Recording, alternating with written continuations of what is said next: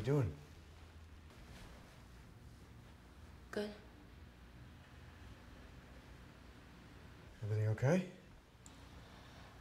Yeah, I, I'm just, um, I'm waiting for somebody. I'm glad you're feeling better.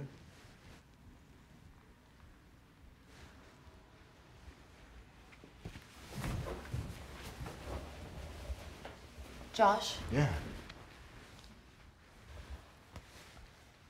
Do you know Rebecca? Rebecca? I don't think so. We're meeting with Pastor Mark. What, tonight? Oh, there's no one left in the church. Pastor Mark's not here. No.